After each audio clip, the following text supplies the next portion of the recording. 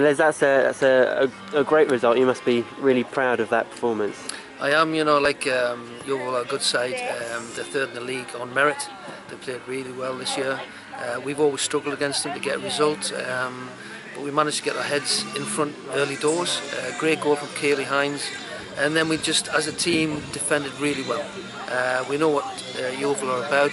Around the box to get really good crosses in. And uh, to be fair, on, on most of the crosses we were first to the ball, so back four, back five defended really well. Yeah, I did, did it really need that kind of defensive effort and then the amount of concentration, obviously, to hang on for, for more than 20 minutes of, of added time? Exactly, you know, there was a few breaks in the game because of injuries and a, and a really long break when the, the girls injured the head.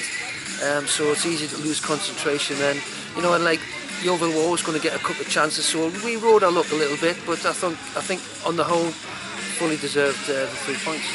Yeah, on a, a, little bit of a roll now in, in, in the league, that's third straight win. Yeah, third straight win, you know, so the girls are setting records all the time in WSL. Um, so, you know, I, I just hope it continues. We've got a really big game, two big games coming up against Doncaster and Everton. And in, in this sort of vein, uh, vein of form, who knows if we get a result, you know, we might just well do. I think it shows our character and our resilience. Um, obviously, we know Yeovil are a good side, they're always well organised. Uh, we've played them over two seasons now, so they're always going to threaten our goals. It's just really important that we remain switched on um, defensively and concentrated, um, and I think we've done that really well today. Yeah, obviously, made a, an excellent start. I think took the lead within four minutes. Um, yeah. What did you kind of put that down to? Were you just sort of more fired up for this one?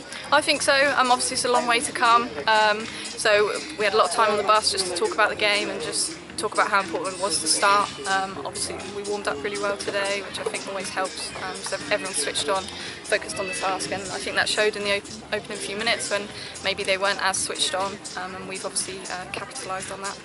Uh, you, you're obviously making a bit of a habit of some of these kind of uh, spectacular goals. Another another another great one today. Thank you. Talk us through it.